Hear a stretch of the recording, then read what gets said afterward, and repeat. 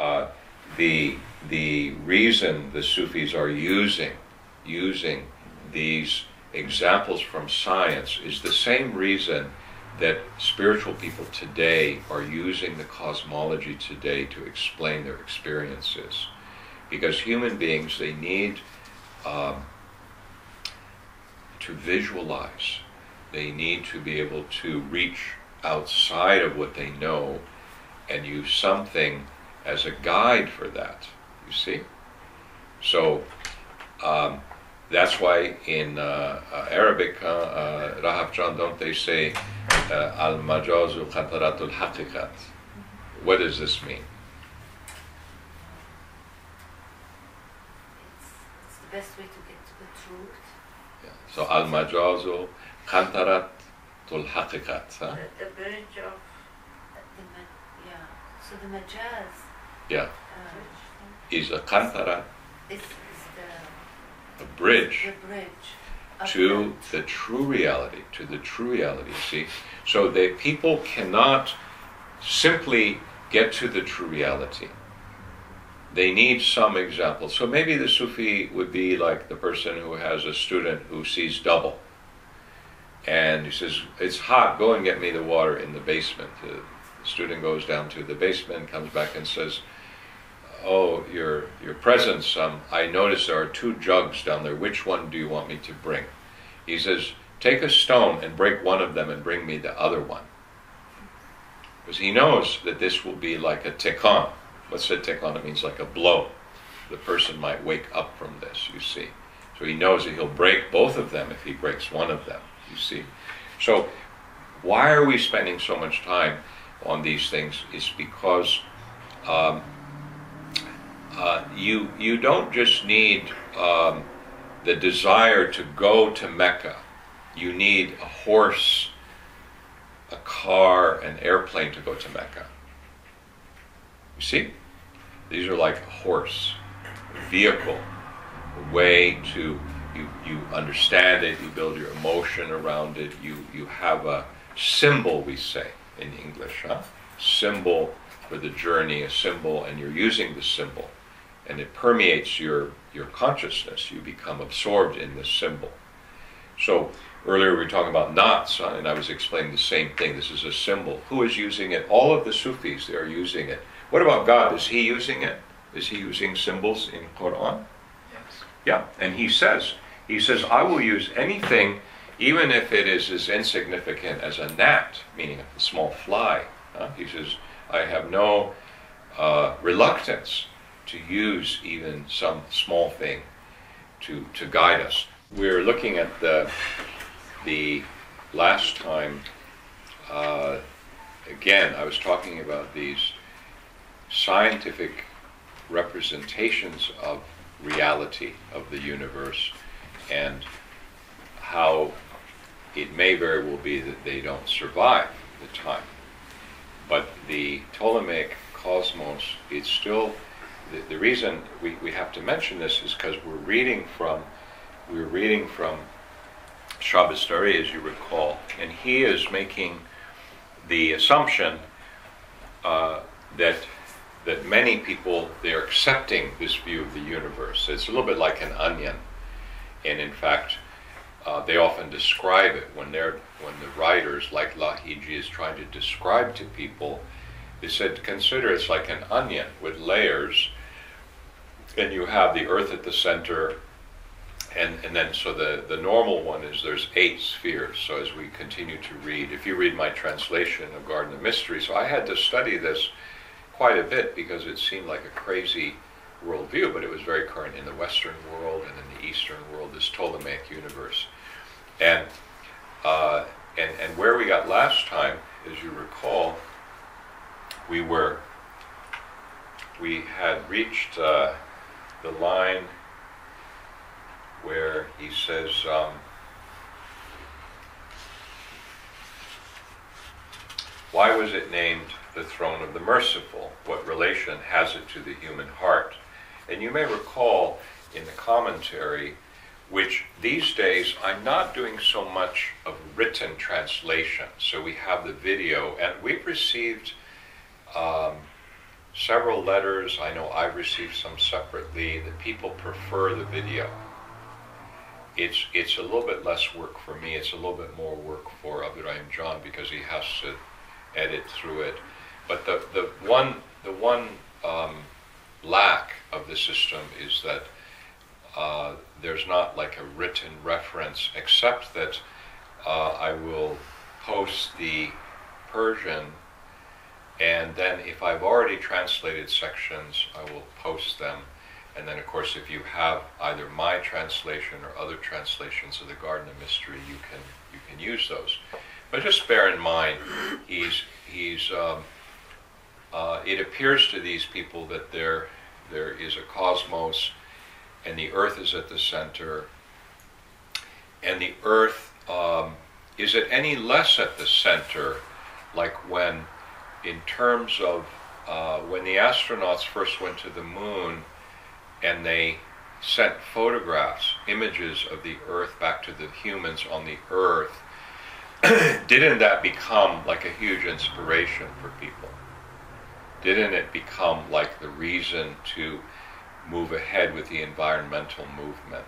Isn't it still the symbol of of this beautiful jewel of a planet? Huh? So it's in, in the minds of human beings, it certainly has a special and sacred place. And for these people, they didn't see the earth outside the way that they did. Some of them, not all of them, knew that it was a sphere. Not all of them knew it was a sphere. Uh, are there any people today who believe that it is not a sphere, that it is flat? Is there anybody who believes it's flat? There seem to be. Yes. are they are they from uh, are they religious people or are they kooks or what are they? They're they're they're kooks. They're kooks. I guess. they're, there's a big group in England actually. They're working very hard to prove that our current methods of scientific exploration are all fabricated and the Earth is actually flat. Yeah. So you have that. And are there any religious people who, for on textual grounds, uh, they have stood firm that the Earth is flat? Is there anybody on because of their religious beliefs based on, on the, the uh, literature that they're reading? Is there anybody who, for that reason, believes the earth is flat? Probably. Yeah, anybody in Islam who believes the earth is flat? Yeah, there's, there's uh, the, you can read uh, about the, very recently, the greatest uh, religious authorities uh, at Mecca. Um, they, they sent, issued fatwas that the earth is flat Anybody who believes it is not flat is a heretic. Uh, you can just Google it. You can see. You can see the guy's name. I remember it was in the newspaper about five years ago, but you can read about it yourself. So the problem is when reality overtakes the worldview. I, as you know, I value these things very much that are in the Quran because um, they help us to separate. They help us to understand. God has already said I will give you many symbols. I will give you symbols, and and I and this is a Quran uh, uh, brought to you in the Arabic language. Because why? Because you speak Arabic. You know, I'm not going to bring. Uh, I'm not going to reveal the Quran in the Arabic language to the the um, Miwok tribe of California. You know, I'm going to reveal the the Arabic Quran to the people of Mecca who speak Arabic, and that's where the Prophet, peace be upon him, is living, you see. So it's, it, the, the Quran is very contextual, and there are absolute meanings in it. Absolute. We, we can find out what God is like to the best of our. God will take us to the threshold where we no longer need words. And therefore, even as He's using words, he wishes to free us from anything that would prevent us from knowing Him. So, in fact, in the Quran, you have places where there's a flat earth, you have places where there's clearly more of a spherical view. It actually is not one view. And I think that um, those of us who are Muslim and we treasure the Quran, we should say, well, this was done for some wise purpose. This was done for a wise purpose, which is that God is teaching us through examples and metaphors And some things are absolute. So if God says, I am Basir, or I am Rahman, we have no way to judge that whatsoever. But if God says, um, through the mouth of one of the prophets, that this flat earth or this round earth, or even God Himself, is using the assumptions of a community, then, then God knows in His wisdom that they will understand. You see? So, uh, uh and He will therefore forgive them. Uh, you see, so, uh, Yahdi lahu linuri mayashahu wa yadribu lahu al God will guide whoever He wishes to His light, and He will give many metaphors, similitudes, many likenesses for the sake of guiding them. He will give them to the to the people. You see, so so when when we should never be upset if um, a modern scientist says, "Oh, this is not possible." We should never. This should never worry us because it's not it's not it's not our concern, nor was it God's concern. His concern was to get people to where they could uh, arrive at a place where they could transcend the language itself. They could transcend because God is not trapped in the language. Is not trapped in the metaphor. Uh, Al majazu kantaratul hakikat. He says the majaz is we could add an only there. The metaphorical is only a bridge to the real. Now, a bridge is not something that you you come to the bridge and you stop there and you start doing sajda to the bridge. No. The bridge is something you come to and you walk across it, right? You only you only need the bridge to get over the other side. You don't need the bridge. You're not going to live on the bridge usually. You're going to cross the bridge to get to the other side.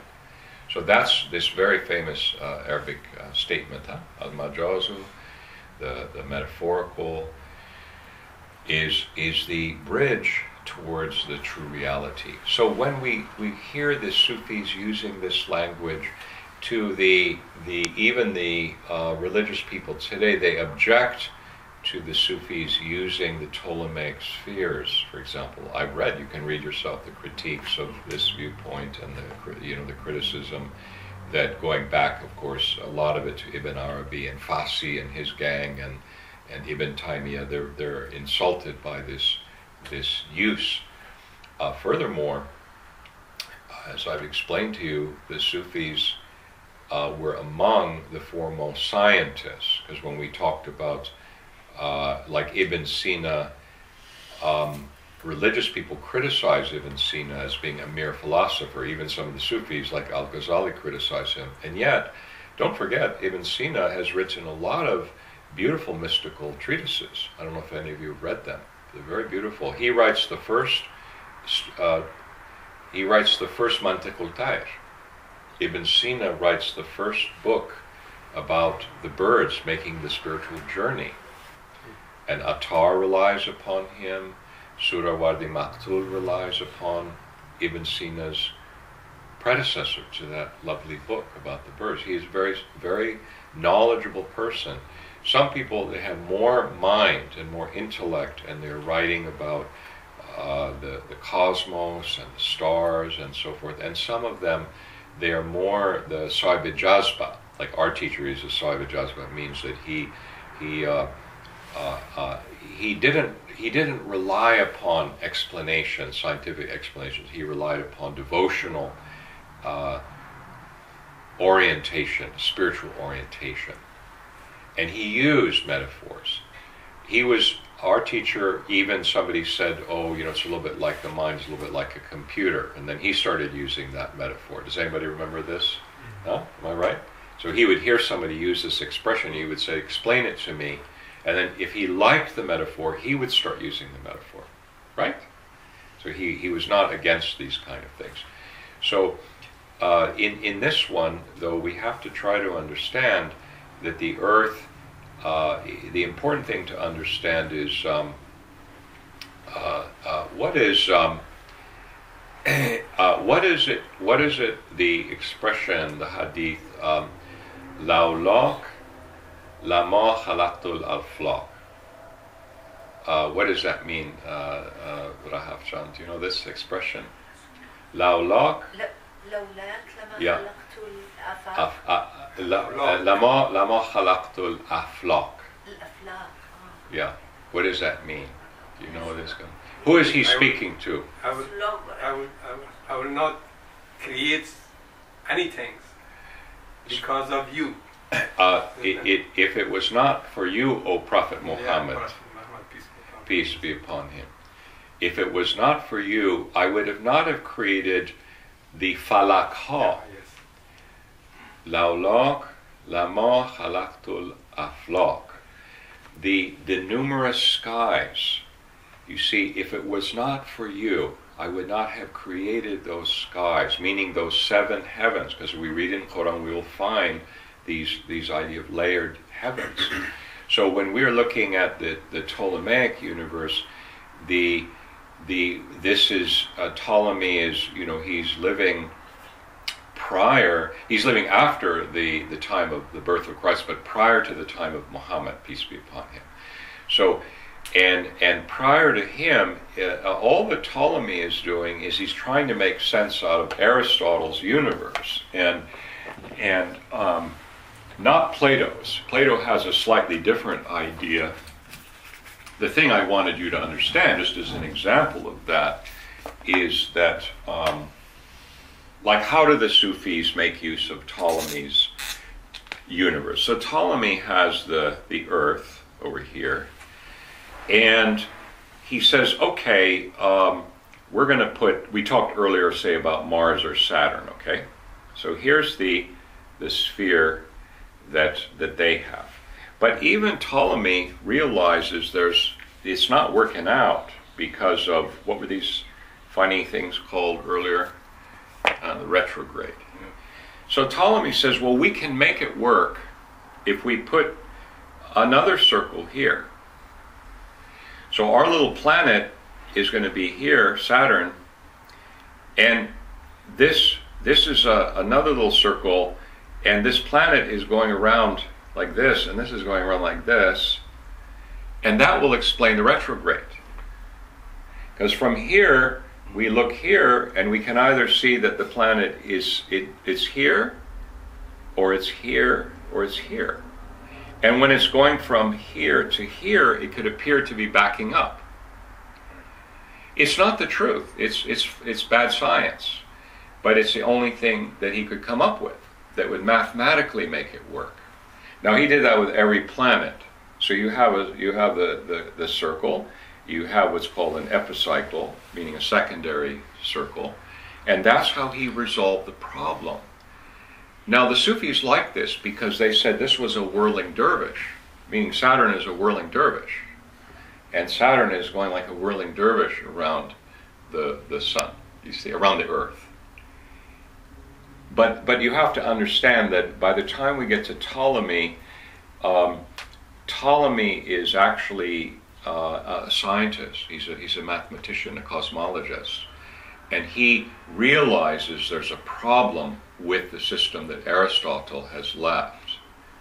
And so he corrects it enough that it's used for hundreds and hundreds of years, all the way up into the 19th century, its use. But the Muslims have already figured out that this is wrong.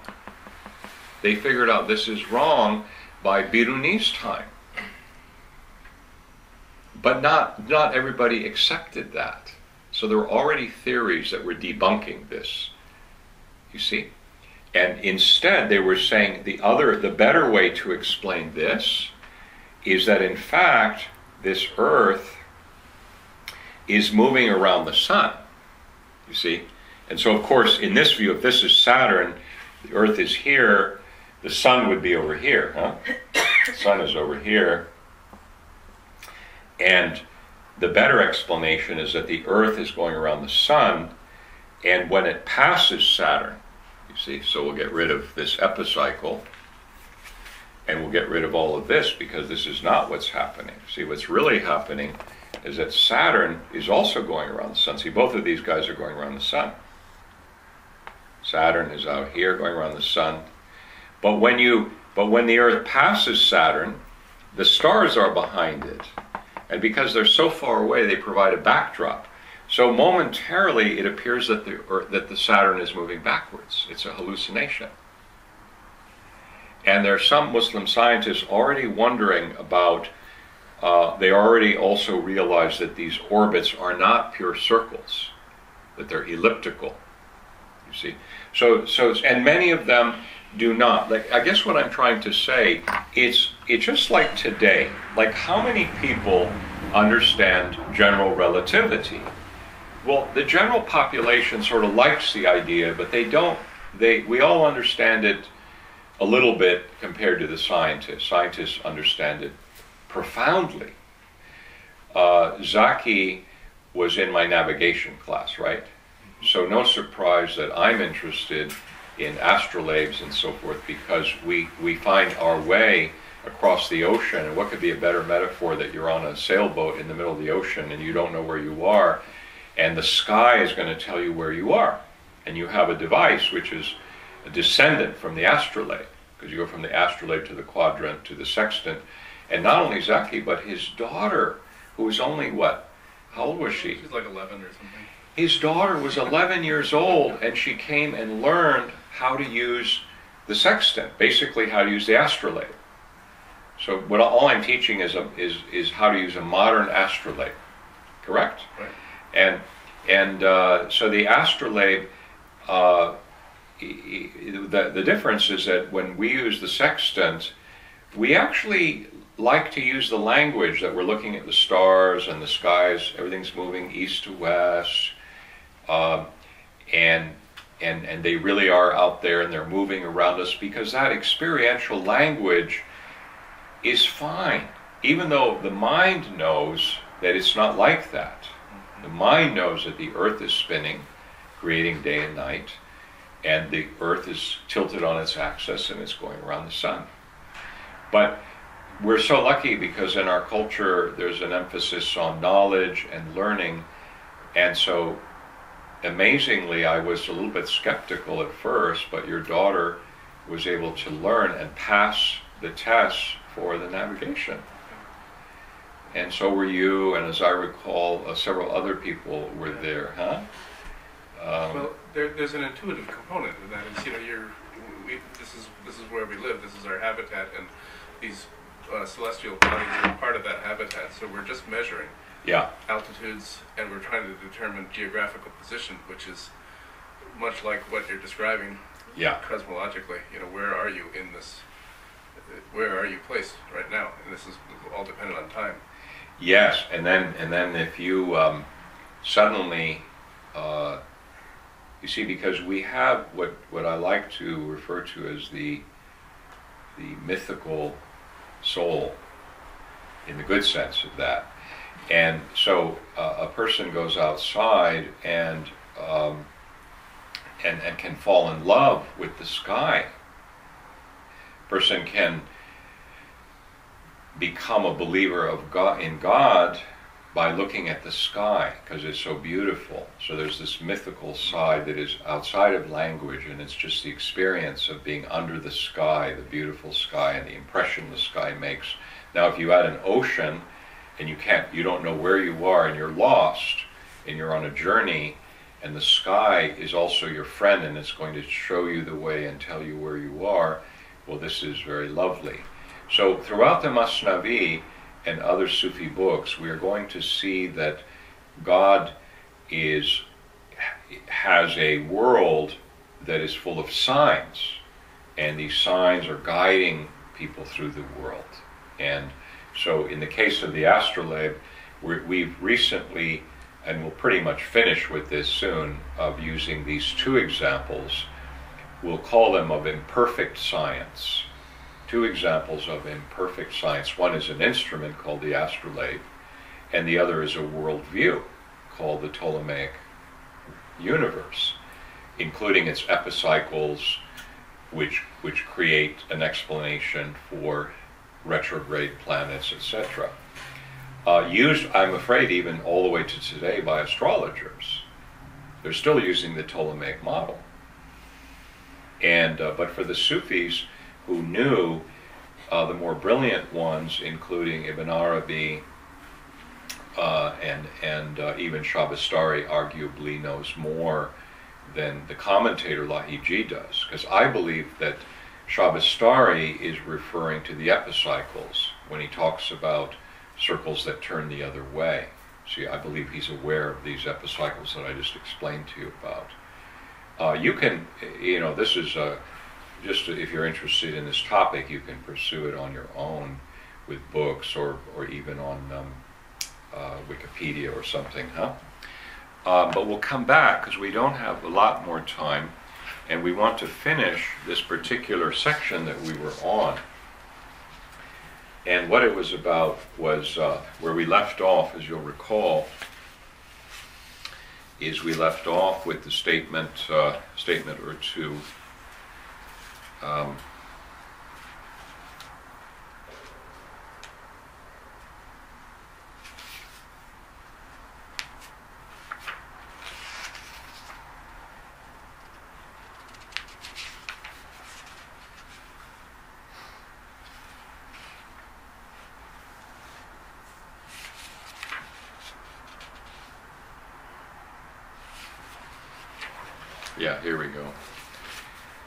we left off, I think, was um,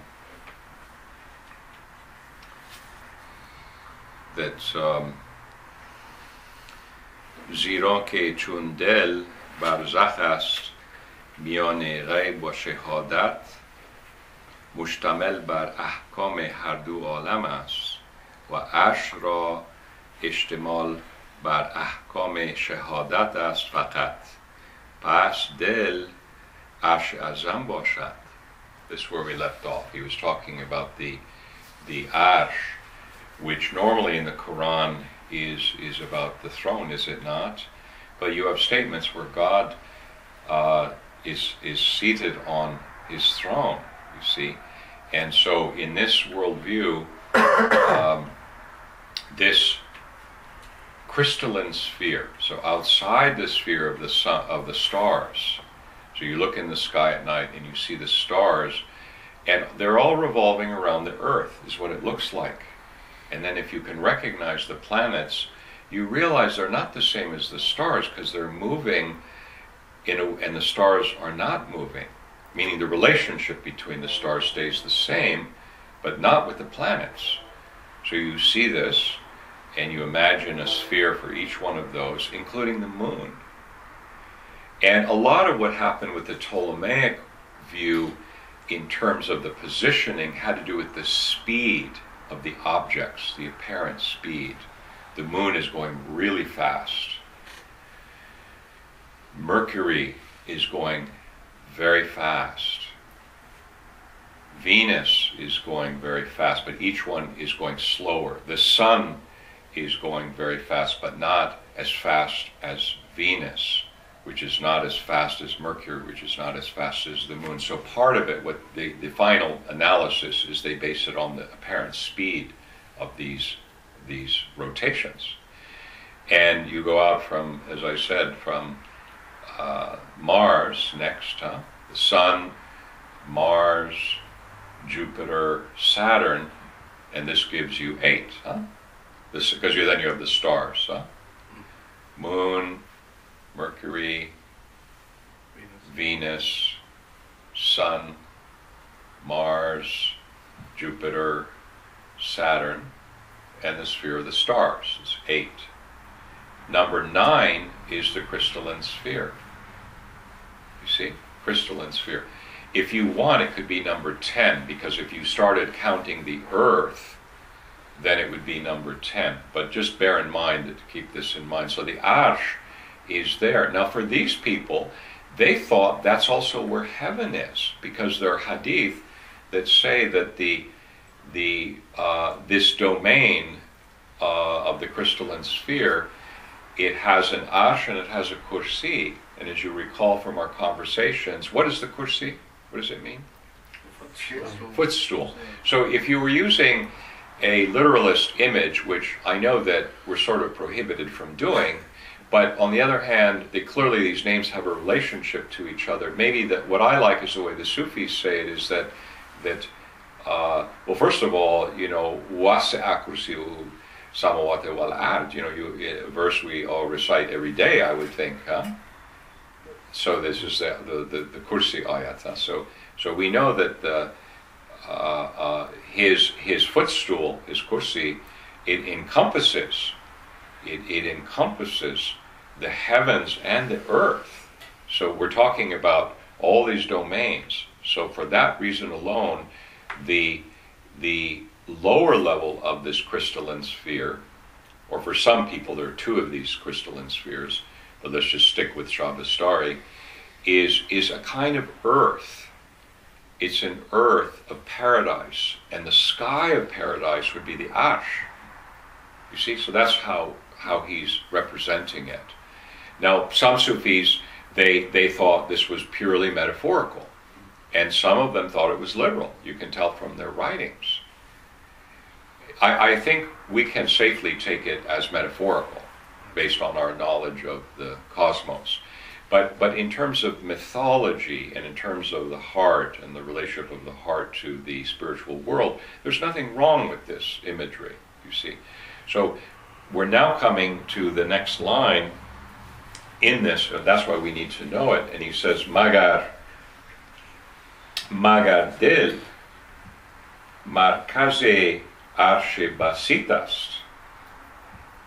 in chun nokta, one daure Mujitas. So this line I've translated as um,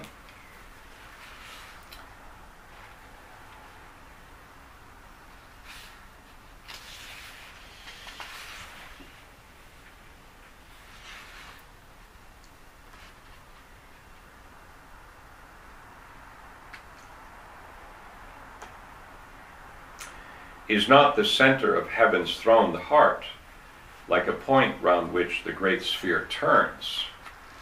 And more literally, he's saying, um, um, yet the heart is the center of the simple throne.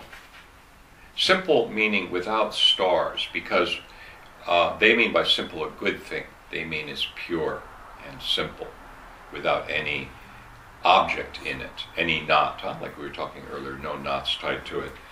And he says, um, nokta, because this one, meaning the, the earth, or the heart, the heart, huh? because this is like a point and the other is like the circumference around this point. Daure muhita means a circumference in relationship to a point in mathematical terminology.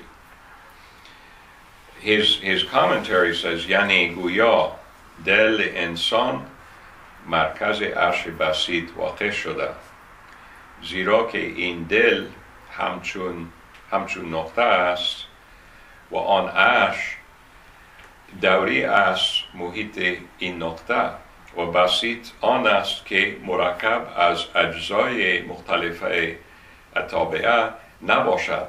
پس نیست دل انسان با اش پس نسبت دل انسان با اش که سابقا سوال فرموده بود نسبت مرکز باشد با محیط. So he says, um, uh, it is said that the heart of the human being uh,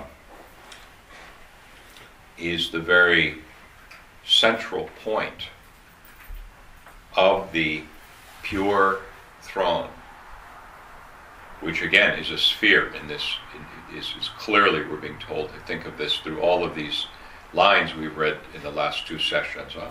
Is a crystalline sphere. Inside is the stars, all those planets, the earth. Huh? And on the earth, you could say the earth is like, um, usually the earth is described as a nafs. And then the heart is a point. You see, so the heart is the thing living in this nafs, and it's the center of the universe, basically. That's what he's saying. And uh, so he says, in other words, the the uh, it is said that the human heart, heart of the human being, is the center of this this um, crystalline sphere. Because um, this this heart is just like a point in relationship to this uh, sphere, this this throne. Um, and uh, uh, and he says, and this and this throne is a is a sphere, is a circle, um, which is the uh, uh, moving around is is is drawn around this point. and basit uh, is that which is not compounded of parts of the various natural phenomena. It is not compounded. Murakab. Huh? Where do, do we hear much of Murakab in Sufism? Does it come up as an idea? Huh? Like with Rumi, what does Morakab represent? Thoughts? Taki? Uh, so Morakab with a cough, huh? Murakab, it, it represents for him why we are prisoners. You see? Um, you see, so he says, Boz hasti jehani hesorang تنگتر بود که زندانیست تنگ. علت تنگی است. ترکیب و عدد. ترکیب. ترکیب و عدد. جانب ترکیب حس ها می‌کشد. زان سوی حس عالم توحیددان گر یکی خواهی بدان جانب بران. So he always for the Sufis the minute you you read this word uh, tarkib murakab you understand that you are that it has to do with the limitations of the pluralistic world of multiplicity that, that the entrapment of multiplicity and they it is in, they're entrapped uh, the people are entrapped because of the senses specifically uh, this is a very platonic idea and uh, this is also a greek idea. But it happens to be in the quran.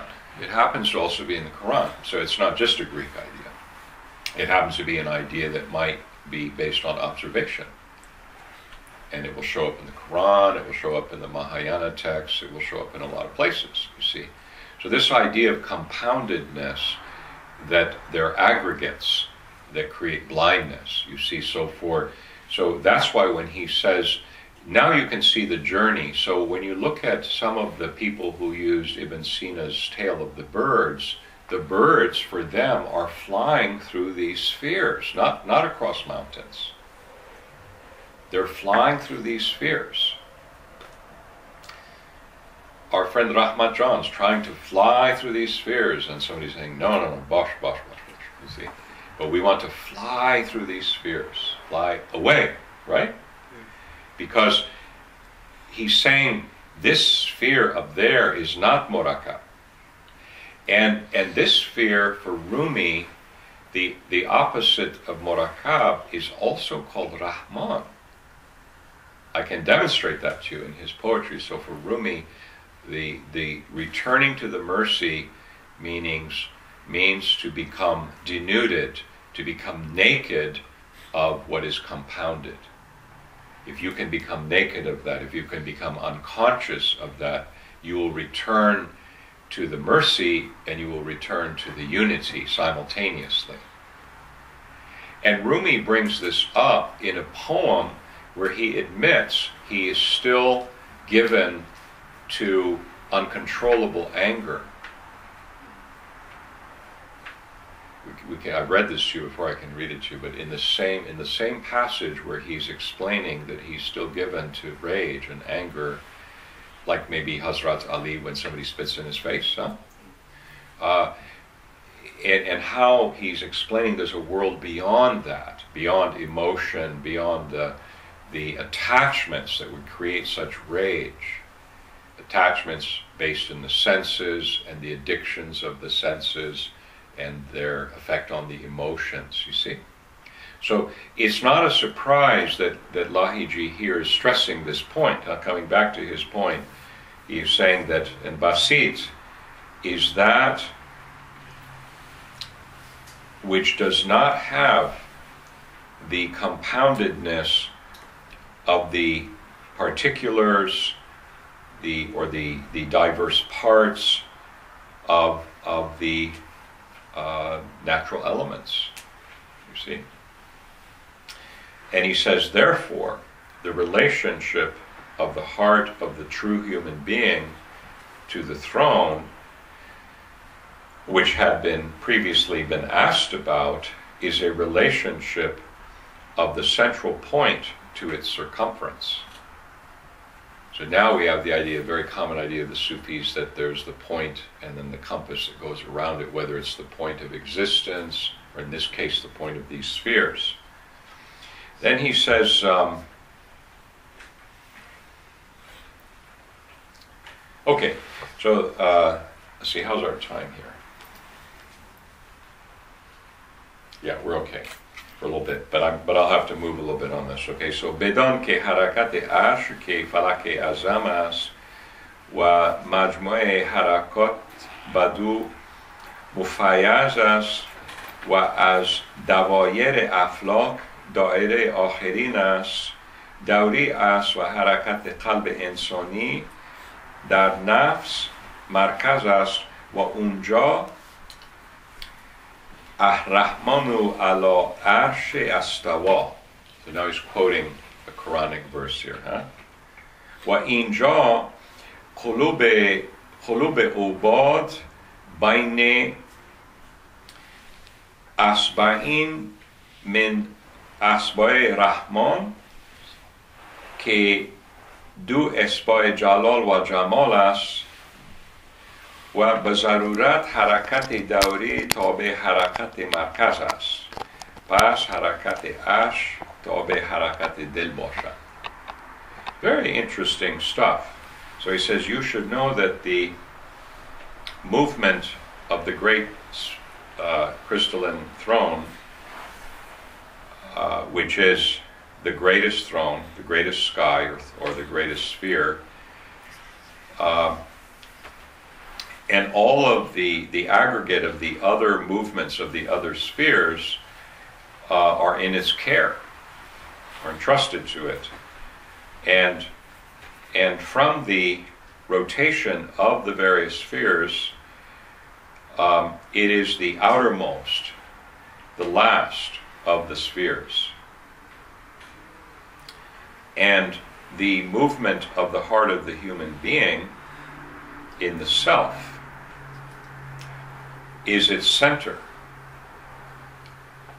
And and uh, regarding it, meaning that sphere, he says the, the merciful has, is established uh, uh, on this sphere.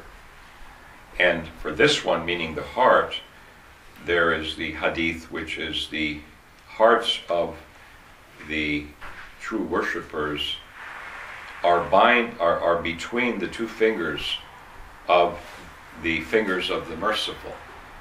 You see, so he's quoting a, another hadith there. Um, and these are the two fingers of um, majesty and beauty. Um, and therefore, of necessity, uh, the movement and the rotation of a circle is around its center, and there and thus the movement of the throne is tied to the the turning of the heart of the human being. Okay, uh, and then lastly for tonight, see if we have time. Well, let's see. Maybe we should stop there and take any any. Uh, better that we take a few minutes to see if there's questions or, or um, comments about this. Does anybody have a question about this um, these ideas, this doctrine. Is it clear?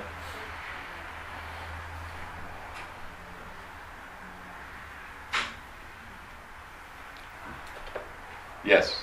It's it's a question that may we may want to put off to another time, but I was wondering earlier if there's an, easy way to describe the correspondence between this these spheres, you know, from the crystalline inward, and the spheres that we've come to know about Lahut and Malakut and Nasut. Yeah, well, again, you have um, a a comfort in the mythical heart. See, we should always honor um, we have many faculties, which is why we are the human being, and which is what God loves about us, because uh, we have the capacity to love, and God God loves the angels, but they are not able to love Him. And God loves the human in particular, and especially, for example, because the human is able to love Him. Now, what's so interesting to me is to look at God's language in uh, whether it's Hadith Qudsi or in the Quran. And again, um, we should distinguish in the Quran between, let's say, the language of civilization or the language of um, of regulation versus the language of divine self-disclosure, where he God's revealing Himself. So we were here when when uh, our friends, uh, uh, Kabir and Camille, were here recently. We were talking. Somebody was asking about the place of knowledge, and, and I said, well, there's a direct relationship to love, because when when God said I was a hidden treasure and I love to be known, uh, love came first.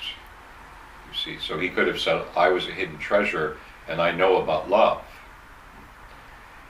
He could have said a lot of things, but the way the sentence is organized, you see, kuntu kanzan an urufa fa'khalaqtu halqa likai urufa. It's very specific language, and so many places, including these hadiths which were quoted tonight, for God to say um, that He has a Arsh and a kursi, and He has fingers. But we should take this, as we found out uh, from Abu Hanifa, how does he say we should take this? Bila kaifa. Without uh, trying to really understand how.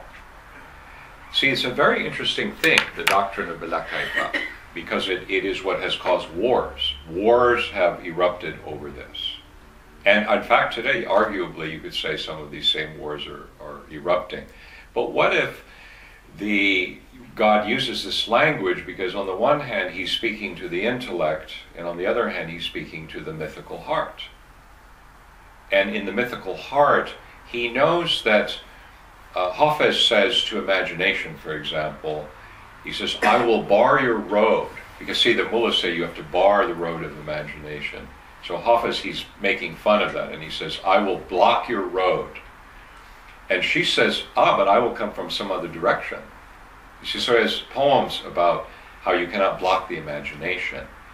Now, a lot of the imagination could just be neurotic, but I'm talking not about the neurotic imagination. I'm talking about the mythical ability of the human being. And frankly, you're more likely to escape the earth on a burak than, than in a rocket ship, you see, because the burak has no limitation. It's, it's the mythical part of the human being is traveling on a burak. A burak is a strange creature that, that is deliberately not supposed to be like any of the creatures of the earth. And in fact, as you're talking about these levels, it stands between these levels.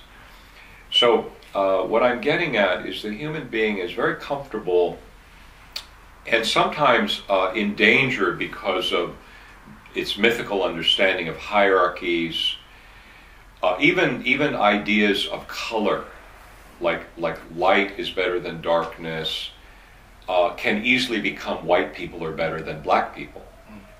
See the problem with imagination, the problem with the way the mind works. On the other hand, the correct way is that one one surrenders like Moses did to the burning bush, and his mythical imagination saw a paradox. What was the paradox? What was the paradox? We're speaking. It was what? Speaking. That's well. One thing is it was speaking. That certainly is a, a quandary to understand, if nothing else. But there was actually a, a natural paradox, which is what As it, it becomes greener as it burns? it becomes greener as it's burning. Now, now think about that for a minute. Think of it. That's the description, the exact description. Uh, would you agree it's a paradox?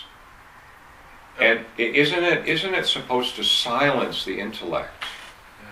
But you may not. uh, There's also the removing the shoes part, which seems important too. There's there's all kinds of Yeah. things, but when he when he arrives, I'm talking about an actual paradox where where it's impossible.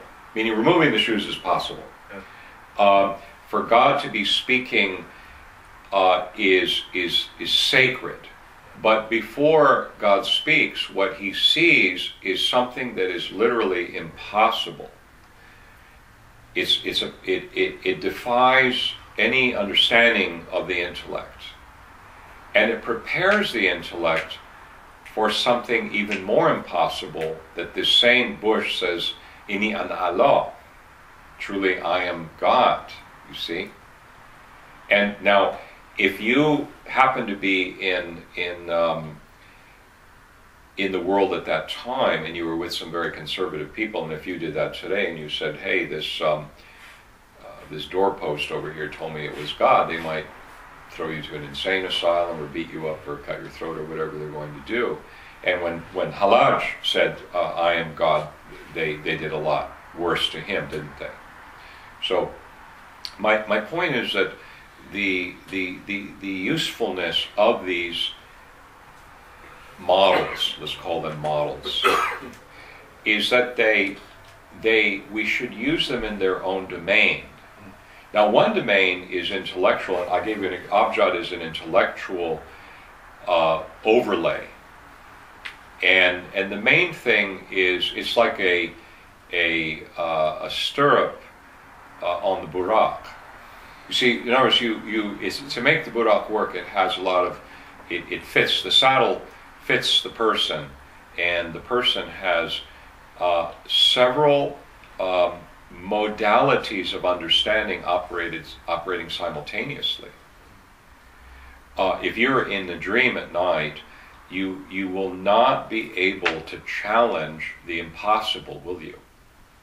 you actually are in the dream and you fully believe that what's, what's going on there, no matter how impossible it is. You may question it, but usually you're going to believe it anyway. Because you are now in a different modality of understanding. So in Sufism, they're trying to harness the different faculties of the human being. So you have a chariot. Now we're back to Hinduism. There's a chariot, and there's a charioteer, and there are horses. And the horses must not go wherever they want to. So the horses are going to pull the chariot. And the charioteer must also have control over how fast and they know the chariot. You see, so these ideas about different faculties, the senses, the imagination. Now, now, coming to your point, is there are these these layers? Yes, they are very much related, in the sense that they're hierarchical. They they they bring us to lahut, and what relationship does lahut have to the mercy?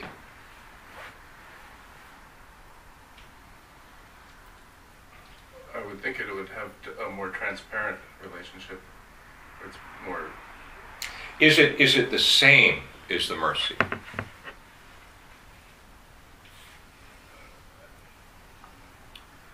I would. I would think so, but I don't. I can't Yeah, I remember. would think so Yeah, because, yeah, for example, if we think about Hahut, yeah, uh, there's not a whole lot we could know about it, is there? right. And God tells us that, you know, I am, I am, uh, you know, Ghani al-Alamin. I am, I'm independent of the worlds. On the one hand, uh, and and He has a name of His essence. Says, I am Allah. And on the one hand, I am independent of the worlds.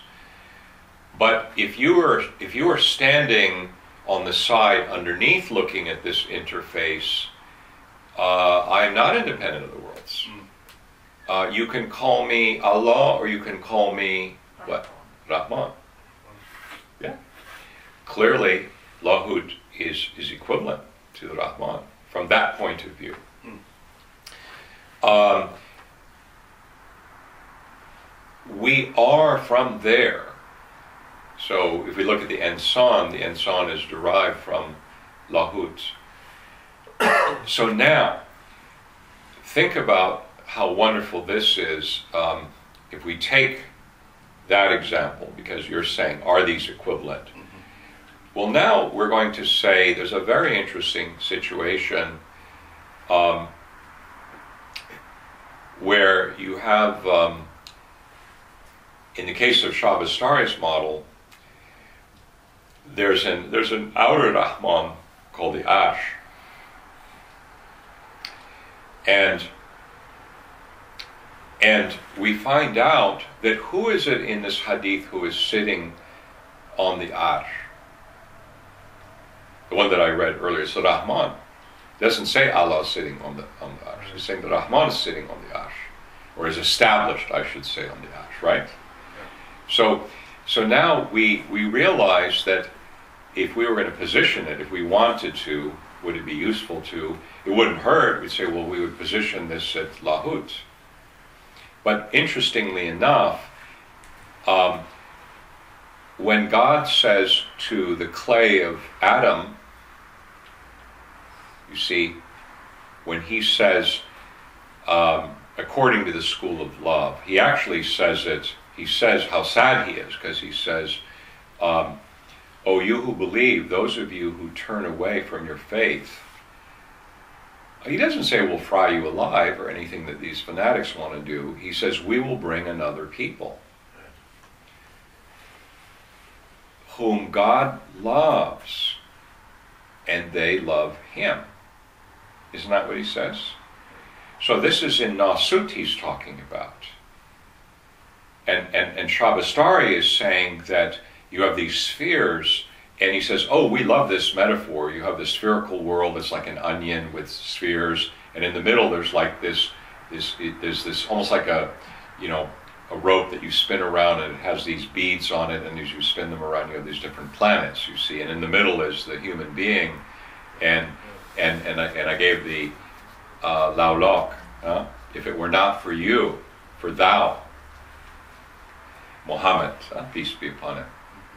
I would not have created these heavens, aflok, falak, and aflok, aflok is the plural of falak. Huh?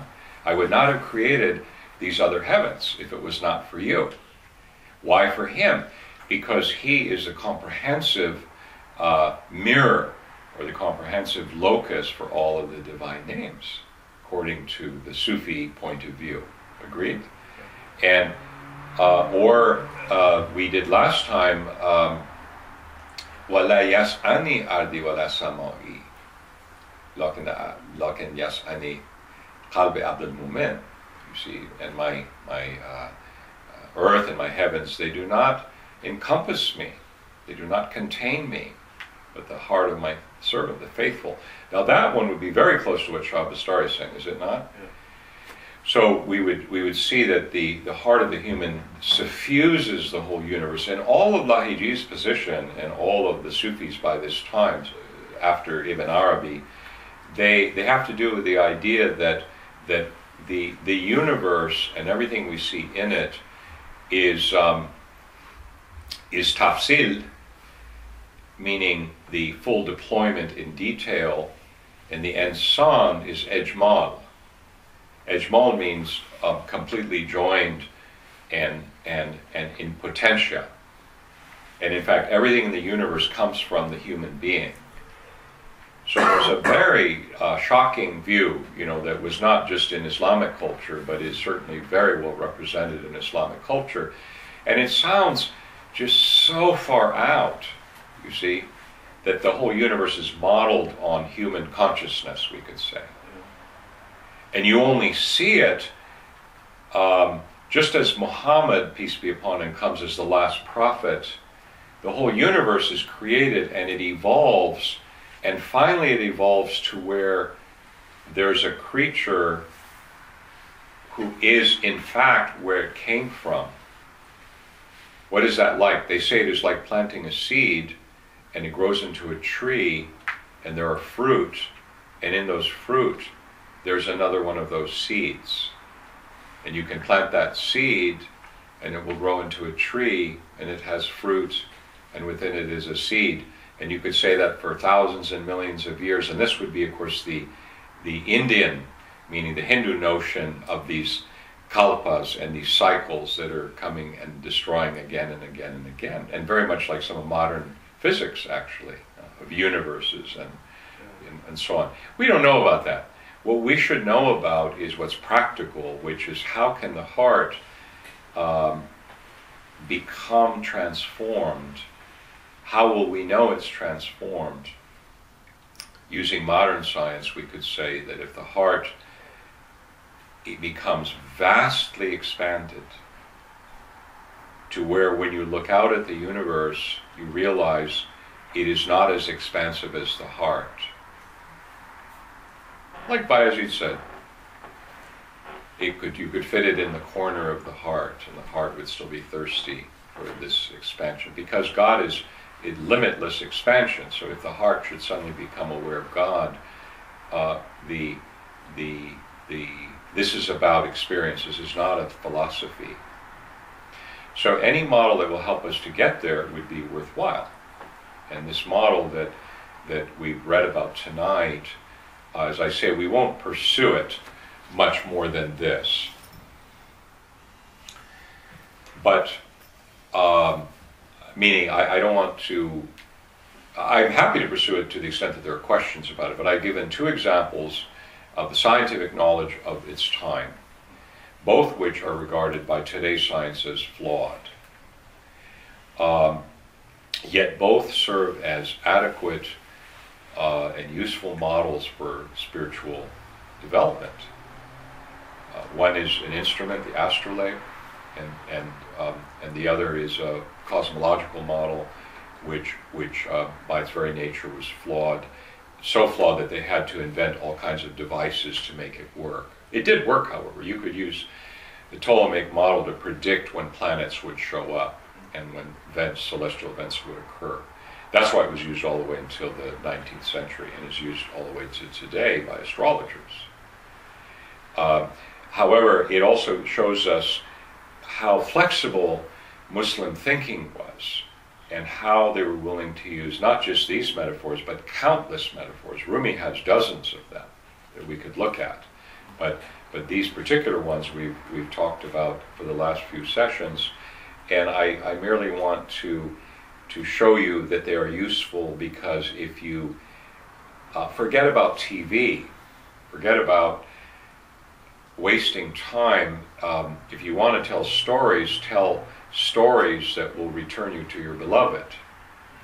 If you get stuck at some some uh, quagmire where the story doesn't bring you back to your purpose, you better escape from that to find stories that will take you back to your homeland. Right? So these are all stories that will bring us back to the homeland and and, and to that extent that we, we should read them, we should understand them, and when we read the Quran, we, we should let it teach us. Um, in my judgment, the contemporary understanding of the Quran, I mean today, not of the people like Rumi and others, I'm talking about what people say today. I can't imagine it being more ignorant than it is today. I cannot imagine it being more foolish, stuck, backwards, irrelevant than it has become today. So, what I'm trying to do is show how flexible uh, the Quran was to the people of earlier times and how they, they used it as buraks to rise up to God. They didn't let other people tell them how to swallow their own food. They learned from their mother, meaning from the true source, how to swallow, and then they ate and they swallowed on their own. So, this is what we want to try to understand. We want to bring the history of Islam directly into recollection with examples, with, with a broad understanding of what they're trying to say. That's why we spend maybe an inordinate amount of time looking at these metaphors. But we can look at a lot of them, they're all very interesting to me. Because they show us a very different understanding of the Quran, of Islam, the purpose of worship, etc.